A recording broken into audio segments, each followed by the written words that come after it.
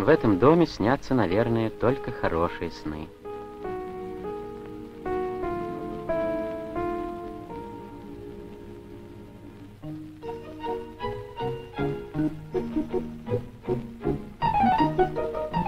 И обеды здесь особенно вкусные.